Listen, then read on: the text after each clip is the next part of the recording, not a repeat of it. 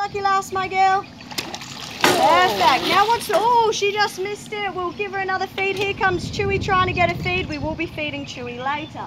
We could get a bit of a fight here. Chewy and Angie are sort of similar size. Now Angie could decide, oh, I don't know whether I want to stick around when Chewy's coming over. Chewy's doing quite a dominant posture right there. Whole body floating on top of the water.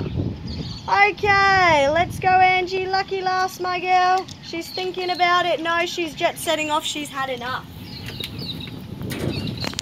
So folks, I'm going to continue on and we're going to see who else we can find. Now what is propelling them out of the water is their tail, which is about half their body length. So the muscles in their tail like a piston in a car.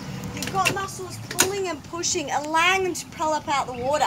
Now over there we've got lovely Teddy on the bank with his mouth open, our laziest croc out on the